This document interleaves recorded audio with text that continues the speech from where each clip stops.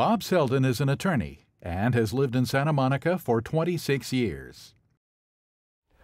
I want to work closely with all the neighborhood associations.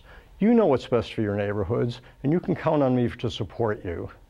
The airport operations at Santa Monica Airport must be limited as soon as possible. Priority one is getting rid of corporate jets and limiting the operations of flight schools whose operations are heavily impacting us. The proposed Miramar project is completely out of scale with the existing neighborhood and needs a serious redesign. Now, before I was a lawyer, I was an engineer, and I'm ready to put my experience to work for you and ask for your vote. I promise I won't let you down.